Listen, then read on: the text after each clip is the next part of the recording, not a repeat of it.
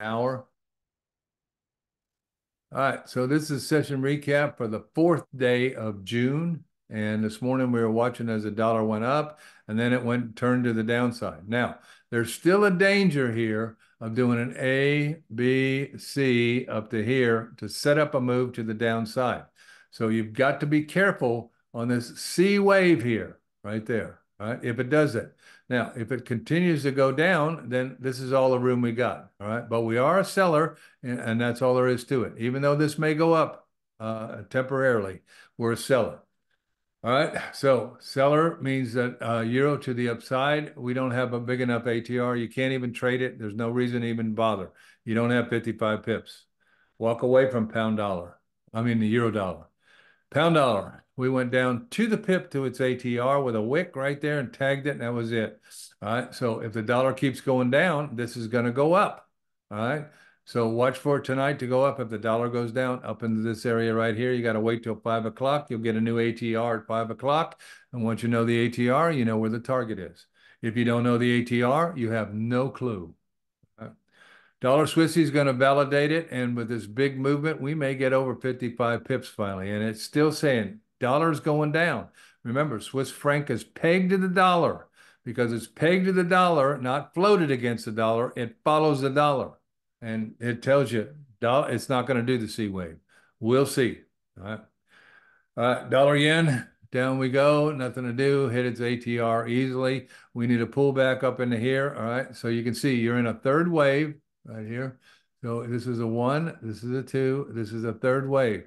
Next is a fourth wave and then a fifth wave down.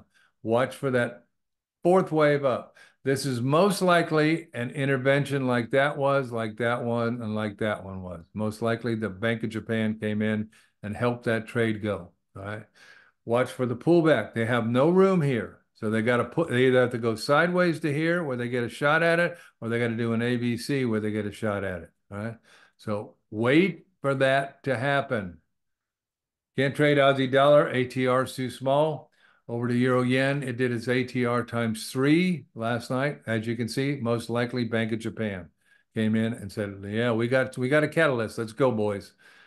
All right, now they're doing a flag pattern right here, but this is an unsustainable uh, move. All right, so they could still do a C wave up here or a sideways move for the target down here. You got to wait till five o'clock to get a new ATR. The ATRs will rise on all the yen crosses.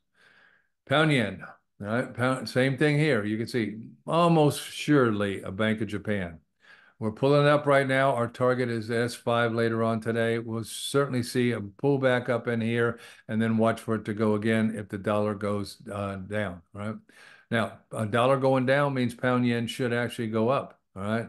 So it may turn here. This may be the turn and they're headed back up. So you got to wait for that information. All you got is down right now. So wait, wait, wait, wait, wait. Aussie yen, all the yen crosses, almost surely a, a Bank of Japan intervention. Same look here, all right. Uh, if dollar's going down, this should go up, all right. But you've got a whole a whole nother wrinkle in here to, now is that the Bank of Japan is most likely playing in the market. They do not want the dollar, uh, uh the currency, to go, uh, go to go up any higher, all right. So they're trying to drive it down, right? So wait for five o'clock, get a new ATR. There you go. Can't trade euro pound. It's too low in ATR.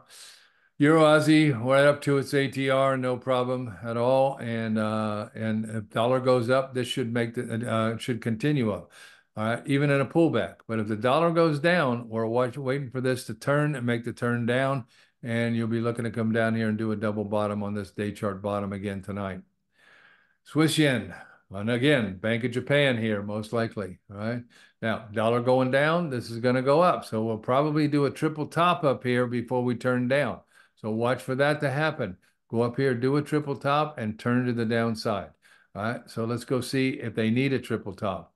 Let's go up to 240 and count the money in. All right. You can see the money in all pretty clearly. All right. First money is in here. Second money is in here. Third money is in here. Okay. First money came out here. This money came out here. This money came out here. All right. Now, when they pull up here, wherever they go, make the turn. All right. Maybe all the way up here for a triple top. Then this money is out finally here. Now they can go to the downside. They can't go to the downside while they still have buys. They got to divest themselves of it. How do they do that? Close and reverse is how they do it. All right. Learn how the market works. Pound Aussie. All right. To the pip to its ATR. It's done. We're at a triple top here also. And watch for it to come down. There's no room anymore up to the top on Pound Aussie. And uh, as we know, Pound New Zealand's headed down and Euro New Zealand's headed down. So uh, we most likely see that. But it's already done its ATR. So you now have to wait until 5 o'clock to get a new ATR. Could be. Could be, Andy. Euro New Zealand. Here we go. All right. There we did. We turned it down. Anybody in uh, in here on the closing reverse? We had to have 55 pips. We got it with that above there. Anybody in on the closing reverse to the downside? Euro New Zealand. Anybody in it? Okay, Andy's in it. Anybody else? Just Andy traded it. Okay, good job, Andy. Looking for a target down here at um, uh, 76, uh, 76, 50, so it's going to be 75, 63. Hold for 75, 44, Andy. All right, pound New Zealand.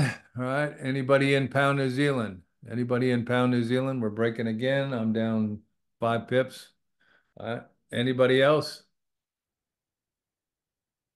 Pound New Zealand down. Robert's in it. Okay. Uh, Saeed's in it. Okay.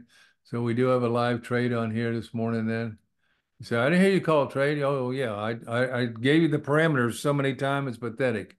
I I don't make trades. I, I did make this trade, but I don't I don't call trades. I let you make that decision. Our target is 20615 down there, and uh, we're underway here. Really having trouble getting going. It's non-farm payroll week. It makes sense. All right. So we got a live trade down on the pound New Zealand. All right. And uh, New Zealand yen, also an intervention, most likely, as you can see. Watch for it to continue to the downside. Uh, all the ATRs are going to go up. You just got a zero line break on the MACD down here. So we're looking to come down to this area down in here tonight. Can't trade Aussie Swissy or Aussie New Zealand, but we can trade Pound Swissy. Pound Swissy ATR will go up. So that's a good sign for us. They easily went right to the pip to its ATR and then the next target. This is why you see a big candle, you hold for the next target. You see a little candle, bank two lots, hold trade one for the next target. That's it. You don't change it, you do it every time. Right? You start doing that, you suddenly start seeing your account is recovering. All right, that's what happens. Looking to come down here, probably to the S5 tonight at 1.1300.